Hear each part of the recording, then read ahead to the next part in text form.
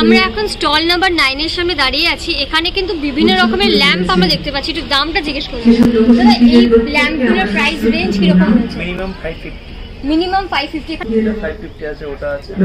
আর highest কি রয়েছে? আমাদের এখানে 700 টাকা আছে। এই শুধু এই জিনিসগুলো কীরকম প্রাইস রয়েছে শোপিস